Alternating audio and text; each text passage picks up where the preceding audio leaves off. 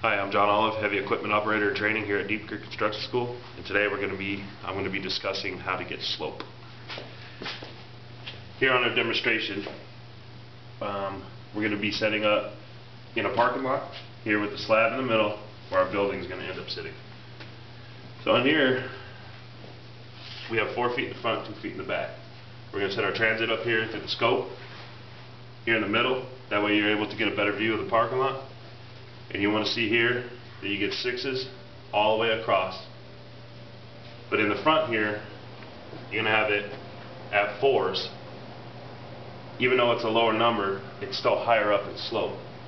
So you're going to take the fours, it's going to split off, come around the building into a five. We're going to be using 2% grade here, which means for uh, every 100 feet, it drops two. So here we go down from a four to a five, it's going to drain down to a six, and another 100 feet to a 7, another 100 feet to an 8.